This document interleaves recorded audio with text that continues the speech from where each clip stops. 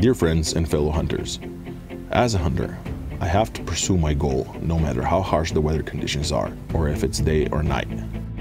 That's why I have by my side, as part of my equipment, the multifunctional thermal device Viper made by Nitehog.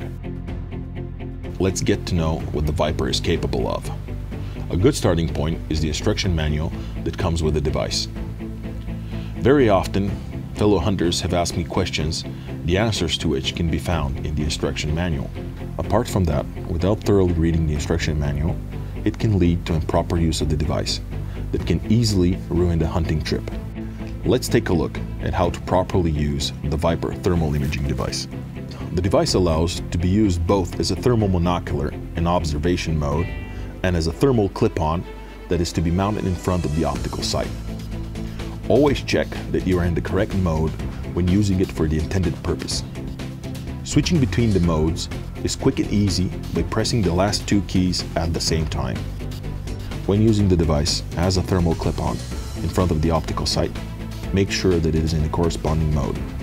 This guarantees that the image is scaled to the field of view of the optical sight. Not only this, but in the incorrect mode, there is a great chance that the actual impact point will be different than the one in the optical sight.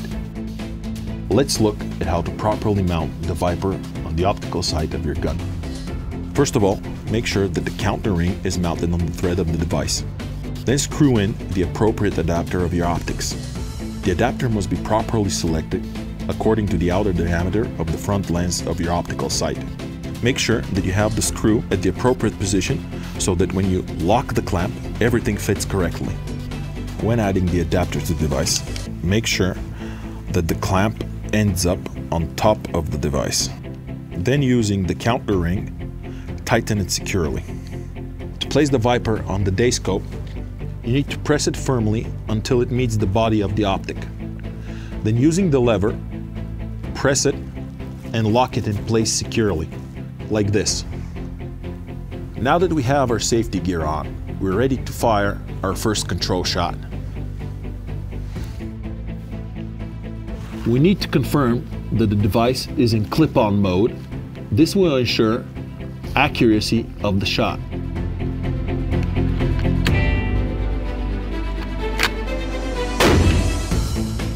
Nitehog, as a manufacturer, guarantees that the actual impact point will deviate no more than 3 centimeters at 100 meters from the zeroing of the day scope.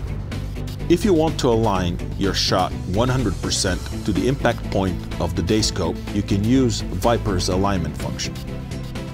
Alignment is done electronically while being in the settings alignment menu. This is available in clip-on mode only. In position X0, Y0, the image is in the center of the screen of the device. By using the alignment function, the user can move the image in all directions. If the impact point is on the left of the target, the image should be moved to the right, increasing the value of X, and vice versa. If the need of alignment exceeds the limit of 10 steps, please contact your vendor.